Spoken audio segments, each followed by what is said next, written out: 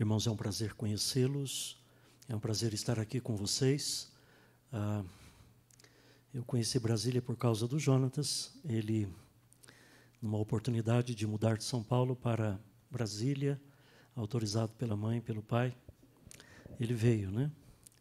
Ah, ele sempre pedia para ir para uma outra, uma, uma outra região do país. E a mãe disse assim: quando terminar a universidade, você então poderá ir. E interessante, irmãos, nós estávamos na festa da formatura dele é, na universidade e ele estava com as passagens compradas para sua mudança de São Paulo para Brasília. Então, nós é, agregamos Brasília na nossa geografia familiar. Né? Eu ouvi, ouvi falar tantas vezes e estudei sobre essa cidade, mas foi uma alegria conhecê-la é, devido ao Jonatas estar morando aqui. Depois veio trazer a Viviane, com quem se casou há dois anos. Viviane é filha de um presbítero muito amigo, servo de Deus, de uma família de gerações de presbiterianos. Eu louvo a Deus, agradeço a Deus que acolheu o meu filho aqui, a minha nora, e que está pastoreando Jonatas. Sempre oro a Deus pela igreja do Guará, pelos, pelo ministério dessa igreja, e sempre pedindo a Deus que Ele encontre aqui sempre estímulo para continuar servindo a Jesus Cristo. O melhor lugar para nós estarmos sempre na igreja, irmãos, sejam os tempos bons ou tempos difíceis. Eu me lembro que Deus sempre atuou é, nos caminhos, né, nos meios que Ele mesmo deixou para atuar. Então Deus prometeu atuar através da sua igreja, né? Jesus Cristo diz que as portas do inferno não prevaleceriam contra a igreja. Há momentos altos, há momentos baixos, há momentos difíceis da história da igreja, mas é muito importante quando o crente prioriza estar na casa do Senhor. Só uma coisa nos afasta da igreja: é o pecado. É o pecado. E se estivermos afastando, as razões apresentadas poderão ser as mais diversas, mas a que subjaz por trás de todas as outras é o pecado que vai iludindo e vai é, tornando insensível o nosso coração. Muito obrigado, irmãos, por me receberem aqui. É um privilégio estar com vocês. Eu estarei retornando a São Paulo já no dia primeiro. Eu vim visitar o meu filho, ele tinha seis anos. É, com cinco anos ele aprendeu a ler. Com seis anos já entrou na aula de piano. O meu desejo é que ele aprendesse para suprir essa necessidade que eu vivi na minha igreja. Não tínhamos organistas, nem pianistas. E eu falei, Senhor, se me deres um filho, filhos, eu vou comprar um piano e eles vão treinar. Na primeira aula de piano, o piano estava chegando em casa e de lá para até os 20, 21 anos, eu os levei semanalmente à aula de piano. Irmãos, eles puderam então se preparar nessa medida para estar servindo ao Senhor, para a glória do Senhor. Somente para a glória do Senhor é que eu falo isso, porque a Bíblia diz que o anelo do justo Deus cumpre, né? Então, quando a gente anela alguma coisa para a glória do Senhor, Deus nos abençoa com este anelo. Então, é, o Jonatas me ajudou muito em São Paulo e agora está cooperando com os irmãos e os irmãos cooperando com eles. Assim a igreja promove esse crescimento para a glória do Senhor. Obrigado por me receberem aqui, a oportunidade que os presbíteros, pastores, me concedem de compartilhar a palavra de Deus. Eu, fora da minha igreja, me sinto sempre como um peixinho fora d'água. Né? E o que, é que eu vou falar, o que, é que eu vou dizer, né? que mensagem eu vou trazer, como eu vou apresentar a mensagem. Mas eu espero que os irmãos tenham paciência e que o Senhor nos abençoe na palavra que vamos ouvir. Ao lado do Jonas e da Viviane está minha mãe. Sempre que a gente vem para Brasília, tendo oportunidade, nós a trazemos. Ela tem 82 anos e foi a minha mãe quem me conduziu nos caminhos do Senhor e não podíamos faltar à igreja, irmãos. Nossa escola, na nossa família, três coisas foram os pilares, né? A igreja, a escola e o trabalho.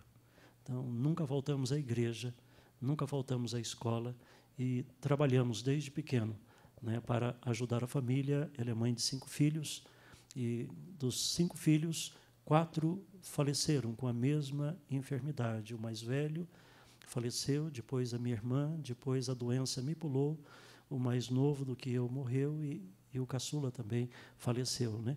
Então, Deus é, deu força para que a minha mãe passasse por todas essas lutas e aqui, com 82 anos, servindo a Jesus Cristo. E aí, com saúde, na casa do Senhor, tudo para a glória do Senhor, mesmo as coisas que nós compreendemos tão pouco. Irmãos, eu quero meditar um pouquinho com vocês, nesta noite, na história da vida do profeta Abacuque, o aprendizado que o profeta Abacuque teve com o nosso Deus. Eu creio que Abacuque é um livro assim estimulante para a vida da igreja.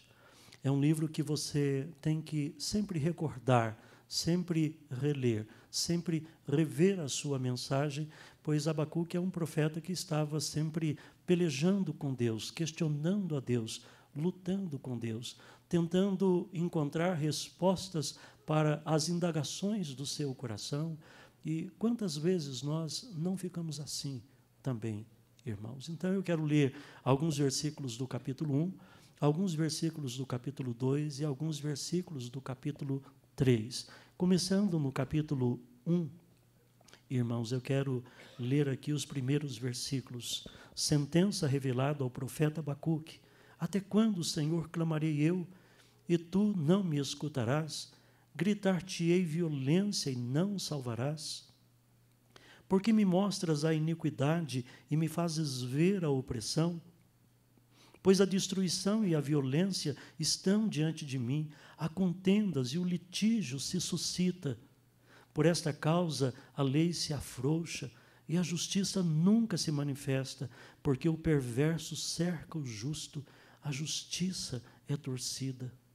Vede entre as nações, olhai, maravilhai-vos e desvanecei, porque realiza em vossos dias obra tal que vós não crereis quando vos for contada. Pois eis que suscita os caldeus, nação amarga e impetuosa, que marcham pela largura da terra para apoderar-se das moradas que não são suas. Eles são pavorosos e terríveis e criam eles mesmos o seu direito e a sua dignidade. Versículo 12 não és tu, desde a eternidade, ó Senhor meu Deus, o meu santo, não morreremos. Ó Senhor, para executar juízo puseste aquele povo. Tu, ó rocha, o fundastes para servir de disciplina. Tu és tão puro de olhos que não podes ver o mal, e a opressão não podes contemplar. Porque, pois, toleras os que procedem perfidamente e te calas quando o perverso devora aquele que é mais justo do que ele. Agora, no capítulo 2, a resposta do Senhor: Por-me-ei na torre de vigia, colocar-me-ei sobre a fortaleza e vigiarei para ver o que Deus me dirá e que resposta eu terei à minha queixa. O Senhor me respondeu e disse: Escreve a visão grava sobre tábuas, para que possa ler até quem passa correndo, porque a visão ainda está para cumprir-se no tempo determinado, mas se apressa para o fim e não falhará. Se tardar, espera-o, porque certamente virá e não tardará. Eis o soberbo, sua alma não é reta nele, mas o justo viverá pela sua fé. No capítulo 3, Versículo 1, oração do profeta Abacuque sobre forma de canto. Tenho ouvido, ó Senhor, as tuas declarações e me sinto alarmado. Aviva a tua obra, ó Senhor, no decorrer dos anos e no decurso dos anos, faze-a conhecida. Na tua ira, lembra-te da misericórdia. Versículo 6: Ele faz tremer a terra, Olhe sacode as nações, esmigalham-se os montes primitivos, os outeiros eternos se abatem, os caminhos de Deus são eternos. Continuando um pouco mais à frente, versículo 13: Tu sais para salvamento do teu povo, para salvar o teu ungido, feres o telhado da casa do perverso, lhe descobres todo o fundamento. E um pouco mais à frente, no versículo 16: Ouviu e o meu íntimo se comoveu, a sua voz tremeram os meus lábios, entrou podridão nos meus ossos, e os joelhos me vacilaram, pois em silêncio devo esperar o dia da angústia que virá contra o povo que nos acomete. Ainda que a figueira não floresça, nem haja fruto na vide, o produto da oliveira minta, e os campos não produzam mantimento, as ovelhas sejam arrebatadas do aprisco, e nos currais não haja gado. Todavia eu me alegro no Senhor, exulto no Deus da minha salvação.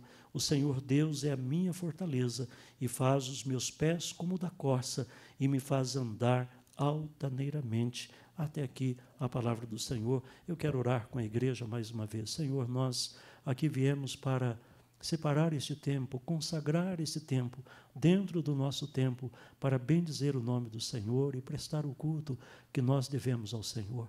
Senhor, trabalha no nosso coração enquanto nós descansamos do nosso trabalho, ó Pai. E permita, Senhor, que possamos é, ter a mesma percepção espiritual do profeta Abacuque, possamos, ó Pai, enxergar a realidade à nossa volta com os olhos do Senhor e possamos, com a mesma postura de fé e determinação, ó Deus, renovar o nosso compromisso de fidelidade com Cristo Jesus. Agradecemos por esta igreja, agradecemos por aqueles que aqui estão, agradecemos pela forma como o Senhor nos conduziu até aqui, ó Pai. E pedimos que o Teu Espírito Santo nos dê a sabedoria, a fluência necessária, a clareza necessária para falarmos da Tua palavra ao Teu povo. Nós oramos em nome de Jesus. Amém, Senhor. Amém. Irmãos, Abacuque é um dos profetas, como os irmãos sabem, chamados menores e talvez seja um dos profetas menores mais conhecidos dos evangélicos em geral aqui no nosso país. Ao mesmo tempo, há poucas informações sobre o profeta Abacuque na Bíblia. Nós sabemos que ele viveu durante o período da ascensão do Império Babilônico, aproximadamente em 620 antes de Cristo. A sua tribo, a sua família o lugar de nascimento, nós nada sabemos. Abacuque profetizou no reino do sul, aquela parcela do povo de Israel que permaneceu fiel a Deus por mais tempo. O reino do norte já havia caído sobre o império assírio aproximadamente 100 anos antes de Abacuque. Abacuque foi contemporâneo de Jeremias, Abacuque também testemunhou, como Jeremias, de períodos de esfriamento espiritual, períodos de apostasia, períodos de ausência de arrependimento. Parece que é uma época muito parecida com a nossa, né? um período de esfriamento espiritual, um período de apostasia, um período de ausência de quebrantamento, ausência de arrependimento, um momento em que o evangelicalismo brasileiro mistura as coisas profanas com as coisas sacras e a gente percebe que há uma confusão na mente das pessoas. Abacuque, o nome dele significa abraçar, mas abraçar com a ideia de luta, como Jacó em busca de resposta. Eu não sei se os irmãos, quando diante dos acontecimentos do mundo à nossa volta e, sobretudo, diante dessa desconstrução que nós estamos assistindo dos valores morais, espirituais, valores éticos em geral, né? não sei se os irmãos sentem esta angústia que às vezes bate também no meu coração. Então, é, o abraçar do significado do nome Abacuque é o abraçar de luta, como Jacó em busca de resposta.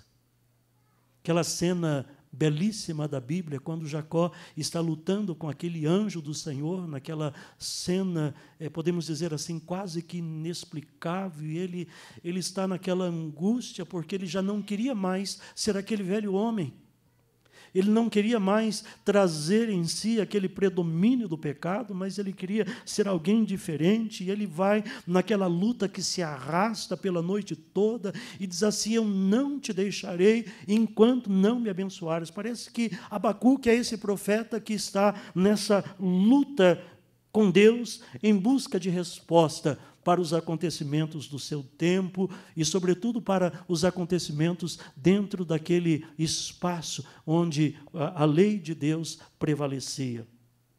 O nome Abacuque também é abraçar é, de carinho, porque é, é, é como se ele estivesse tomando o povo de Deus nos braços e Deus, através da mensagem do profeta, trazendo uma palavra de conforto para o seu povo. Então, ao mesmo tempo que ele luta em busca de resposta, ele abraça também eh, no sentido de confortar o povo de Deus e aqueles que certamente, que como Abacuque, sentiam a angústia ou a mesma angústia que ele trazia no seu coração.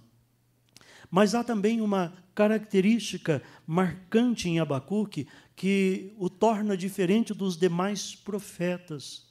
Os profetas geralmente dirigem a, a mensagem ao povo, a mensagem de Deus para o povo. Abacuque dirige a sua mensagem para Deus. Então, Abacuque é quem está interrogando a Deus, Abacuque é quem está dirigindo a sua palavra para o nosso Deus. Há questionamentos espirituais dirigidos a Deus. Abacuque faz perguntas. Ele tenta entender os caminhos do Senhor. Abacuque expõe as suas perplexidades diante da presença de Deus. Abacuque também fica assim perturbado quando Deus responde de uma maneira que ele não espera. A resposta de Deus não se enquadrava na lógica teológica de Abacuque, e aquilo ainda continua produzindo angústia no seu coração. Então, nós, o que nós vemos é um profeta que tem o seu coração numa luta, numa inquietude, numa batalha com Deus, tentando entender os acontecimentos. Abacuque, quando olhava então para as circunstâncias, irmãos, o texto bíblico nos mostra a sua perplexidade. No versículo 2 do capítulo 1, a pergunta dele: Até quando? No versículo 3 do capítulo 1, por quê? No versículo 13, na parte final, por quê? Novamente. No versículo 14, uma outra interrogação, por quê? E ele ali apresenta ah, o seu questionamento. No versículo 17, uma outra pergunta: acaso continuará? Dá para entender, irmãos, por que, que Abacuque é um profeta bem conhecido. Dá para entender porque Abacuque é um profeta muito lido. Dá para entender porque Abacuque apresenta ao Senhor os mesmos dilemas. Ele apresenta os mesmos questionamentos, as mesmas perplexidades que também apresentamos a Deus em muitos momentos diante de determinados acontecimentos. A gente fala, Senhor, por que, que isso está tão claro, mas as pessoas não se importam? Porque, Senhor, que a tua palavra diz de forma tão autêntica sobre determinadas questões e essas questões continuam sendo desconsideradas. Então, irmãos, Abacuque é esse profeta que se identifica conosco, porque em todos os tempos e gerações há sempre dilemas e perplexidades que nós apresentamos a Deus e também interrogamos ao nosso Senhor.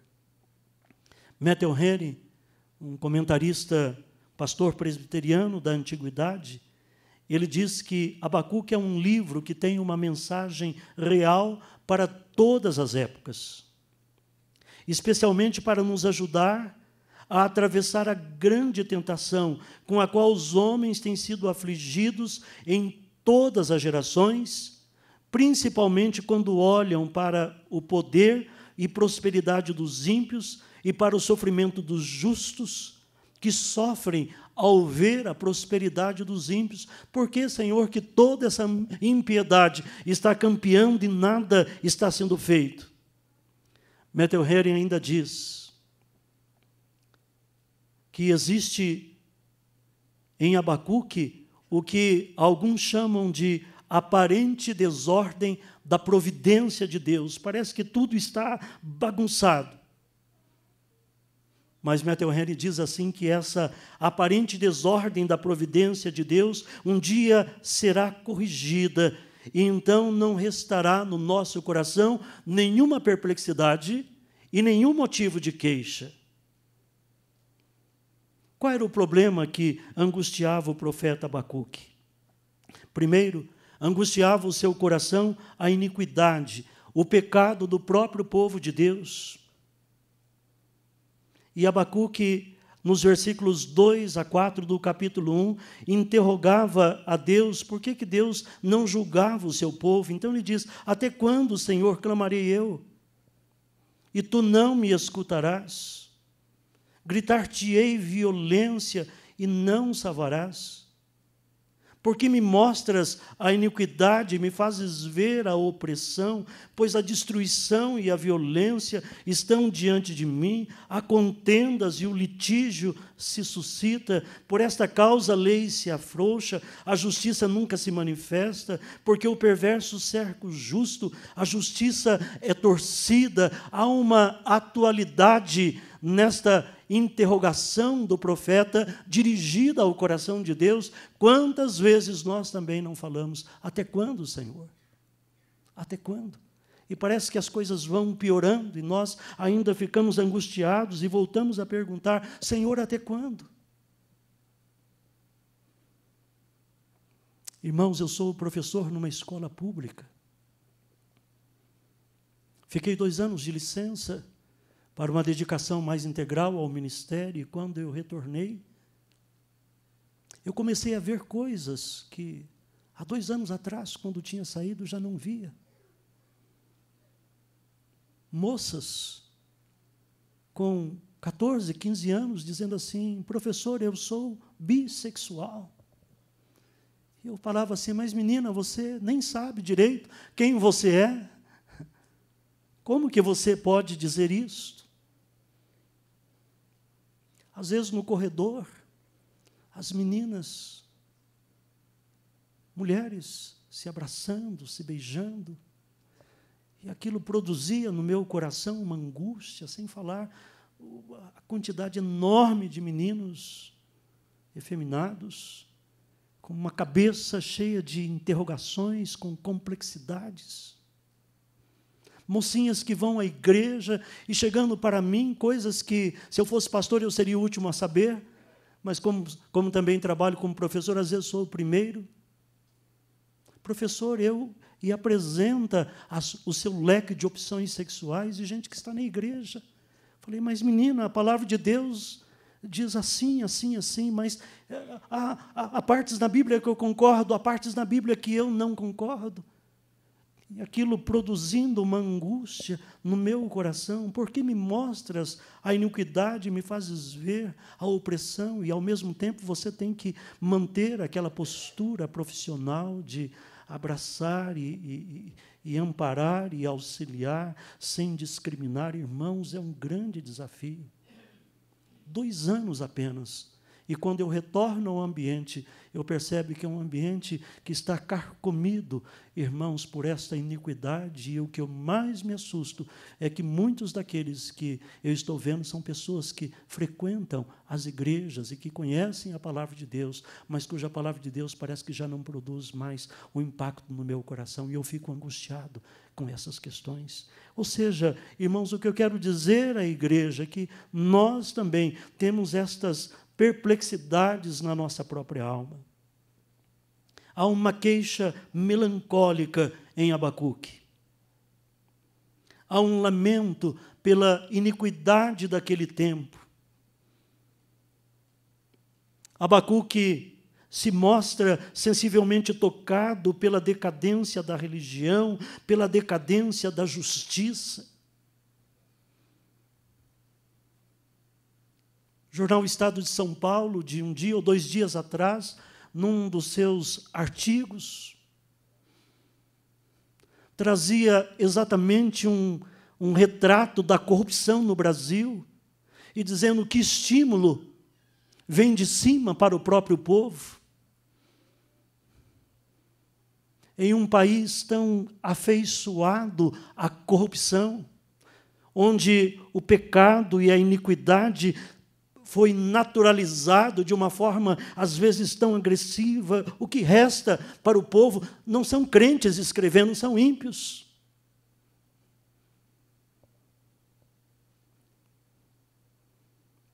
A terra estava cheia de violência, quase que reportando a Gênesis 6:11, quando está escrito: a terra estava corrompida à vista de Deus e cheia de violência. Há um pastor que comentando Abacuque diz assim que a lamentação de Abacuque é uma lamentação de todos os crentes, é uma, é uma lamentação de todos os filhos da paz, é uma lamentação de todos aqueles que conhecem as Escrituras, de todos aqueles que tremem diante da palavra do Senhor.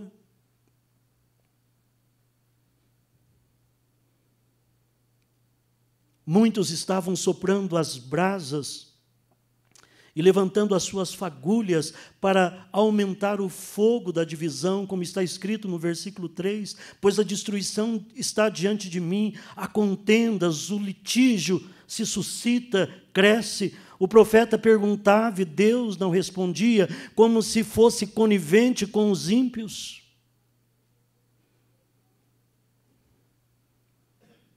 Não sei se foi o próprio Metal Henry, um outro comentarista que lendo e comentando esse livro, escreveu assim: Não devemos achar estranho se a impiedade tiver a permissão de prevalecer e prosperar por muito tempo. Deus tem seus motivos. Embora seja adiado por muito tempo, o clamor pelo pecado será ouvido contra aqueles que cometem injustiça. E o clamor da oração será ouvido a favor daqueles que sofrem não importa o quanto a impiedade cresça, não importa o quanto Deus permita que o mal prevaleça, não importa o quanto tempo demore, o clamor daqueles que clamam por justiça, a nossa oração será ouvida e o livro do profeta Abacuque nos mostra exatamente isto. Eu me lembrei do apóstolo Pedro, na sua segunda epístola, no capítulo 3, quando ele fala da vinda do Senhor como tida por demorada. E ele diz assim: Não vos ignoreis, irmãos, porque para o Senhor um dia é como mil anos, e mil anos como um dia. Não desanimem, por causa da desordem do mundo, não desanime, porque Deus haverá de fazer cumprir a sua palavra.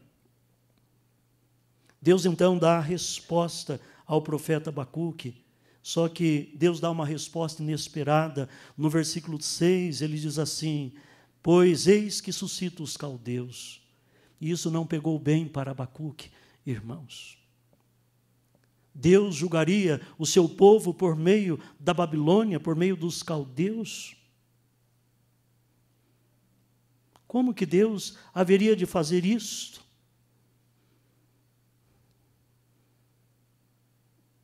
Abacuque não compreende a resposta de Deus.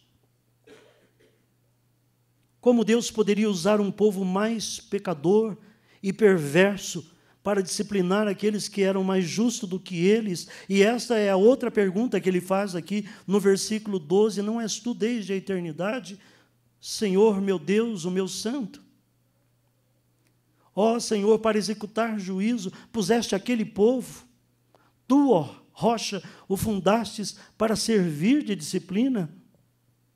Tu és tão puro de olhos que não podes ver o mal e a opressão não podes contemplar. Porque, pois, toleras os que procedem perfeitamente e te calas quando os perversos, ou quando o perverso devora aquele que é mais justo do que ele, Abacuque fica desolado com a resposta de Deus.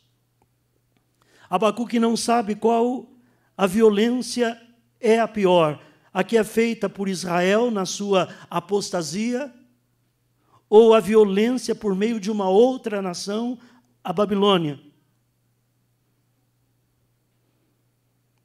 E aqui algumas, algumas lições que eu considero importantes, irmãos, para a vida cristã. O cristão sofre com as calamidades de dentro, no contexto da igreja, bem como ele sofre pelas calamidades do tempo e lugar em que vive. O mundo é mau, e sempre foi assim, e sempre será assim.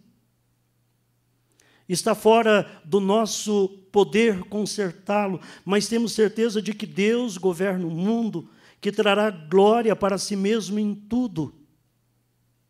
Ainda que o mundo seja mau, devemos estar decididos em fazer o melhor, nos tornar melhores e ansiar e contribuir por um mundo melhor. O mundo é mau, mas quem dará jeito no mundo não seremos nós, será o próprio Deus. O desafio do Senhor para nós é que continuemos a caminhar pela justiça. Quando os acontecimentos temporais forem desencorajadores, Devemos lembrar que Deus é o Deus de toda a eternidade. Como está escrito aqui no versículo 12 do primeiro capítulo: Não és tu, desde a eternidade, ó Senhor, meu Deus e meu Santo. E Abacuque diz assim: Não morreremos. Alguma coisa Deus haverá de fazer. Nesse texto, irmãos, o profeta infere a perpetuidade da igreja a partir da eternidade de Deus não morreremos. Alguma coisa Deus haverá de fazer. Por que prosperam os ímpios? Às vezes também somos questionados, às vezes, melhor dizendo, somos tentados a questionar a justiça de Deus. Essa foi a tentação sofrida por Jó no capítulo 21, versículo 7. Como é, pois, que vivem os perversos, envelhecem e ainda se tornam mais poderosos. Jó 21, 7. Jó 24, 1. Porque o Todo-Poderoso não designa tempos de julgamentos. Davi faz as mesmas, os mesmos questionamentos no Salmo 73, 2 e 3. Quanto a mim, porém, quase me resvalaram os pés Pouco faltou para que se desviassem os meus passos, pois eu invejava os arrogantes ao ver a prosperidade dos perversos. O próprio profeta Jeremias, no capítulo 12, 1 e 2, por que prospera o caminho dos perversos e vivem em paz todos os que procedem perfidamente? Só há uma resposta na própria Bíblia, irmãos, os meus caminhos, diz o Senhor, não são os vossos caminhos e os meus pensamentos não são os vossos pensamentos. Como que Abacuque trata a sua perplexidade? Ele trata a sua perplexidade da forma mais linda que eu encontro nas Escrituras, irmãos. Apreensivo com o desígnio de Deus ou com os desígnios de Deus. Abacuque não se revolta, mas diz o versículo 2, capítulo 2, versículo 1 que ele recolhe-se em oração. Diz assim: Por-me-ei na minha torre de vigia, colocar-me-ei sobre a fortaleza e vigiarei para ver o que Deus me dirá e que resposta eu terei à minha queixa.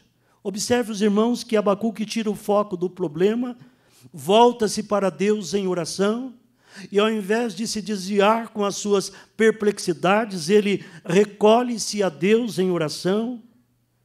Essa torre de vigia, segundo alguns, poderia ser um lugar, uma torre mesmo de vigia, onde ele poderia ficar isolado, mas essa torre de vigia, segundo outros, pode ser uma atitude do coração.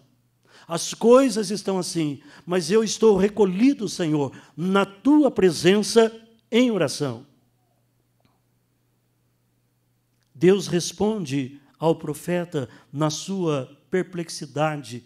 E as palavras de Deus a Abacuque se tornaram um lema para a igreja de Cristo, para o povo de Deus em todas as épocas.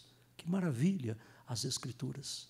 Deus apertando as emoções de um homem e Deus falando aquele coração verdades tão importantes que foram decisivas para a vida da igreja, e nós temos a declaração aqui de Deus ao profeta Abacuque no versículo 4 do capítulo 2. Podemos dizer que é o lema da igreja de Cristo para o povo de Deus em todas as épocas. Eis o soberbo, sua alma não é reta nele. Mas o texto diz assim: Mas o justo viverá pela sua fé. É como se Deus está dizendo: quem te ordenou a andar pelas circunstâncias? Quem te ordenou a guiar-se por aquilo que você está vendo? Quem deu a você a liberdade de tirar as suas impressões e guiar-se por elas? As perplexidades levadas a Deus em oração reposicionam a vida do profeta diante de Deus. E Deus tranquiliza aquele coração, dizendo assim: o soberbo continuará soberbo, pois a sua alma não é reta nele. Mas há uma coisa que eu quero que você saiba: o meu justo viverá pela sua fé. Existe um poder que nos sustenta nas nossas perplexidades, e é o poder de Deus, de forma que a gente continua, de forma que a gente persiste, de forma que, ao mesmo tempo em que tem alunos assim que me trazem uma angústia, há outros que chegam para compartilhar, e eu, às vezes, vou falando das Escrituras. E um dia um aluno me chegou e disse assim: professor, eu já estou lendo Romanos capítulo 6. Eu falei, Glória a Deus. Né? Eu pensei que ele estivesse lendo o capítulo 1 ou que nem tivesse lido. Ele falou: Eu já estou no capítulo 6 de Romanos. Eu falei: Continue lendo. Continue lendo as Escrituras. Percebam os irmãos? Há casos assim que parece que nos desesperam. Há outras realidades que nos fazem ver que há um Deus que continua trabalhando e que nos desafia a viver pela fé. Então, irmãos, esse versículo 2, 4 é a chave de todo o livro de Abacuque. Podemos dizer que o justo viverá pela fé é também um tema central de toda a Bíblia. Esse texto é repetido por Paulo aos Romanos, no capítulo 1, 17. É repetido em Gálatas 3, 11. É repetido em Hebreus 10, 38. Essas palavras podem muito bem ter sido mais, as mais importantes de toda a história da igreja, afirmou um dos historiadores da igreja. Essas palavras impactaram o coração de Lutero quando ele procurava eh, servir a Deus pela força da sua própria carne, da sua própria, da sua própria conduta irrepreensível, e quando ele está subindo de joelho determinadas escadarias, ali fazendo as suas penitências na cidade de Roma, bate-lo no peito essa expressão: o justo viverá pela fé. E ele começa então a compreender que a salvação não vem das obras, a salvação vem de uma graça implantada por Deus no nosso coração, porque essa fé que Deus nos dá é dom de Deus. Irmãos, eu quero dizer que no momento como esse em que nós estamos vivendo, só há duas atitudes para a vida neste mundo, para encararmos a realidade neste mundo: a atitude de fé ou a atitude da incredulidade. Ambas determinarão o nosso procedimento. Francis Schaeffer, eu acho que no seu livro chamado A Verdadeira Espiritualidade, ele é, faz algumas observações que eu acho muito pertinentes. Ele diz assim: a batalha espiritual a sensação de causa perdida estão sempre no mundo do pensamento. Nossa mente é de tal maneira formada que nós não podemos nos concentrar somente numa coisa de cada vez. Quando a minha mente está afligida pelos pensamentos negativos e destrutivos, descobri que é possível substituí-los pelos positivos e elevados. Não é sempre fácil, especialmente para aqueles que têm o pessimismo como padrão estabelecido, mas é possível. É possível mudar a forma de pensar. E ao mudar a forma de pensar, a forma de agir, a forma de proceder neste mundo, tornar a nossa vida neste mundo mal uma vida positiva para a glória de Deus, isso depende do nosso pensamento, irmãos. Ele continua. O que é pensamento positivo? Se não a fé de que Deus fará o que ele prometeu, isto é, fazer todas as coisas cooperarem para o bem dos filhos de Deus. A vida é diferente quando nós mesmos olhamos para o lado brilhante e agradecemos a Deus, em vez de nos entregarmos à tristeza e à descrença. Porque a inclinação da carne é morte, ele vai citar Romanos 11, 8, 6. Mas a inclinação do espírito é vida e paz. E ele conclui: autocompaixão é carnal, bem como a murmuração, a queixa, o descontentamento, a preocupação, o medo e a descrença. Eu já experimentei a morte em vida dessa perspectiva carnal. Inclinar o nosso coração para o espírito, eis o caminho da paz. Esse é o desafio, ainda hoje, da palavra de Deus. Não sei quem eu estava estudando, mas ele disse algo interessante, irmãos. Eu acho que é Martin Lloyd Jones falando sobre ah, o contentamento na vida cristã. Ele diz assim: quem nos faz olhar para trás é o diabo. Quem nos faz olhar para trás é Satanás. Porque o nosso chamado é para olharmos para frente. E eu me lembrei daquilo que Paulo disse, né? Esquecendo-me das coisas que para trás ficam. E avançando para as que diante de mim estão, eu prossigo para o alvo. Que determinação, irmãos. Isso é vida cristã. Vida cristã tem esse viço da determinação. Vida cristã tem esse, essa força interior da perseverança. Aconteça o que acontecer, Deus haverá de cumprir aquilo que ele prometeu.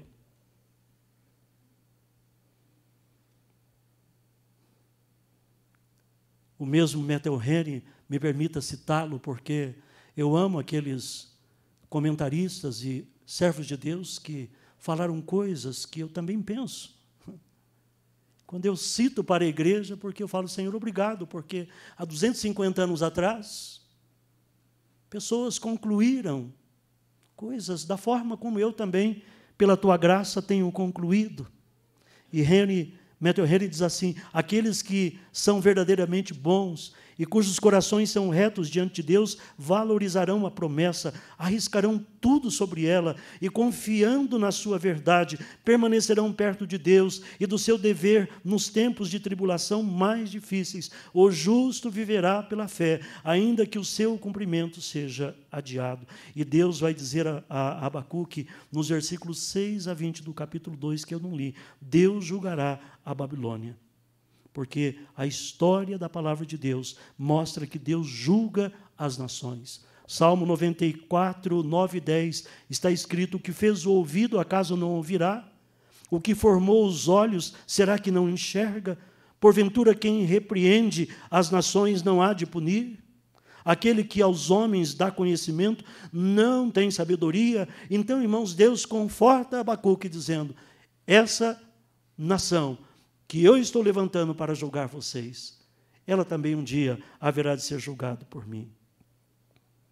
Talvez você que tem aí chegando aos 50 anos ou passando disto como eu, viu estátuas, estátuas de Lenin sendo derrubadas, de Stalin sendo derrubadas.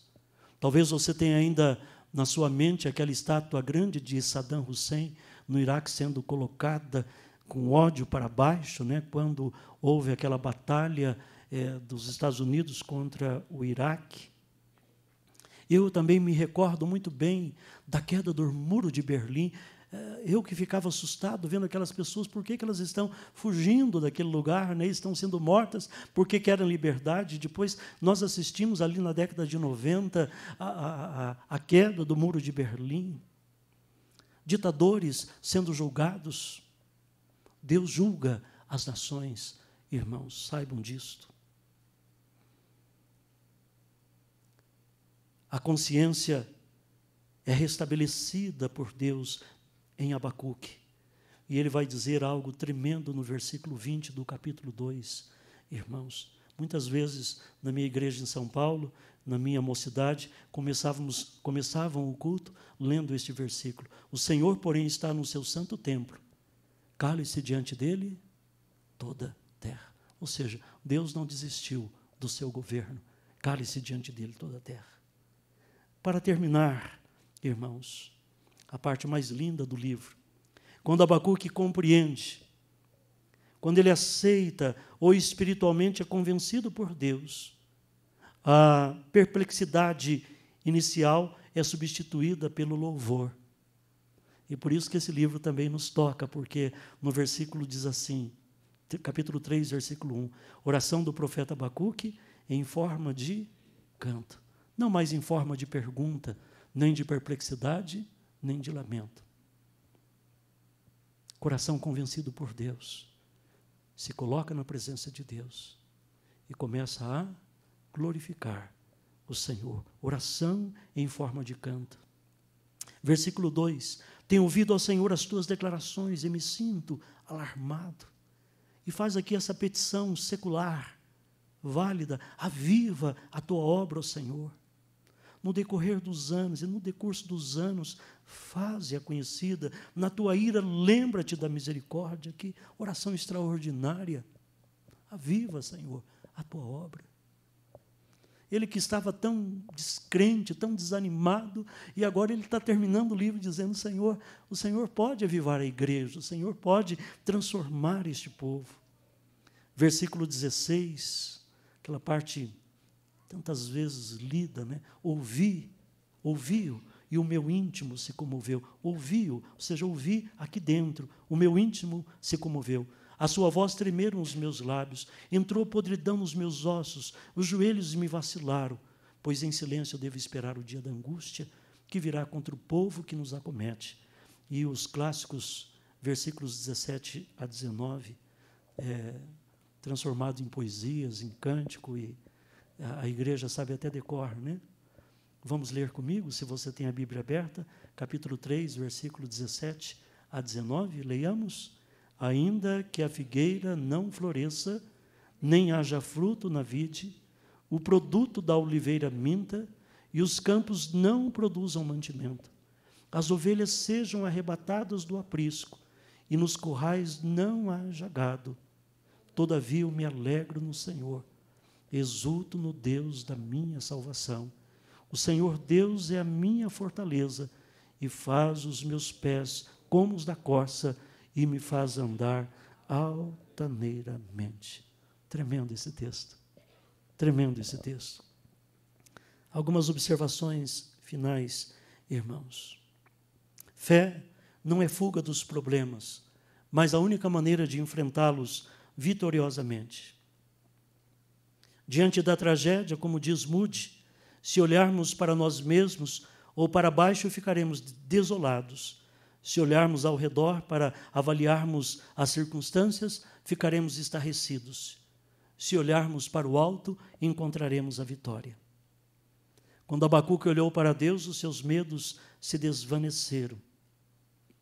Andar pela fé significa concentrar-se na grandeza e na glória de Deus e não na fraqueza humana. Abacuque encontra em Deus resposta suficiente para os seus problemas. Ele confiará em Deus, embora falhem todas as bênçãos, ainda que, ainda que, ainda que. Ouvindo rádios essa semana, eu às vezes deixo em algumas rádios em São Paulo, só para perceber, irmãos, como as coisas estão indo. E a pessoa dizendo assim: olha, você tem que fazer o seu voto com Deus. Então você tem que fazer esse voto. Um dos votos era o voto da Trindade.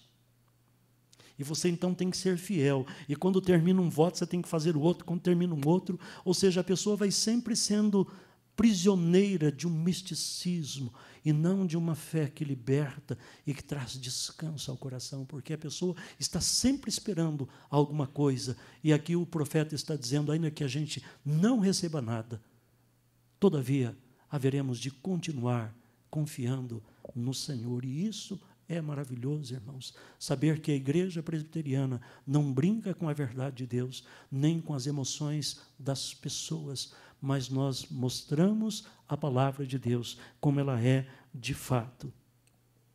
Crer é um ato de júbilo, irmãos. Nossa alegria em Deus nunca é inoportuna. A nossa alegria será sempre oportuna, mesmo quando nos depararmos com as dificuldades do mundo. Aquele que será a nossa salvação em outro mundo, será a nossa força neste mundo, diz Metal Henry, ajudando-nos em todas as dificuldades encontradas pelo caminho. Ou como diz o pastor Davi, Davi Smith, que vai estar aqui, né, pregando, Deus não nos trouxe até aqui para nos deixar no meio do caminho, mas o Senhor haverá de nos conduzir à concretização do seu chamado, irmãos. Eu creio que a mensagem, a versão para o Novo Testamento dessa mensagem profética de Abacuque está em Hebreus 12, 1 e 2. Eu quero terminar lendo esse versículo, esses versículos.